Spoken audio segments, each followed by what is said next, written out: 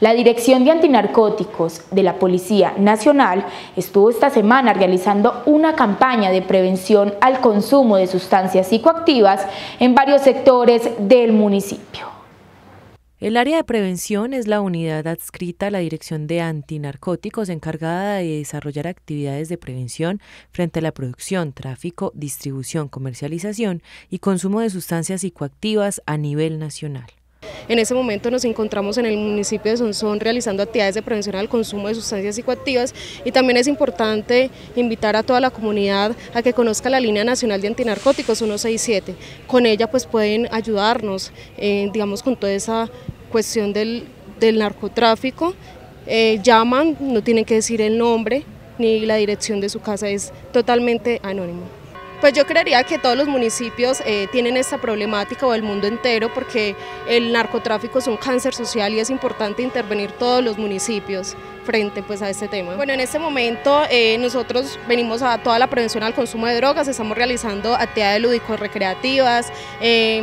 hacemos bailes, globoflexia, pintacaritas y pues obviamente es importante que toda la comunidad y todo Colombia se integre a este tipo de actividades.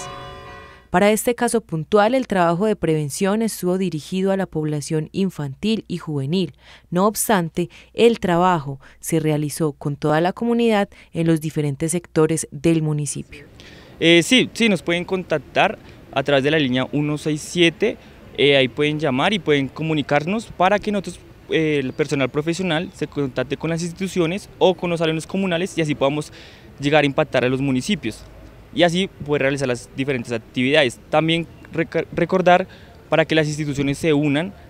y así podamos combatir el flagelo de las drogas. Cabe recalcar que nosotros también por parte de la Dirección de Narcóticos del área de gestión antidrogas contamos con un programa el cual se llama Programa FAI, que contamos con tres enfoques, enfoque escolarizado, enfoque empresarial y enfoque comunitario, para que toda la audiencia puedan participar de este evento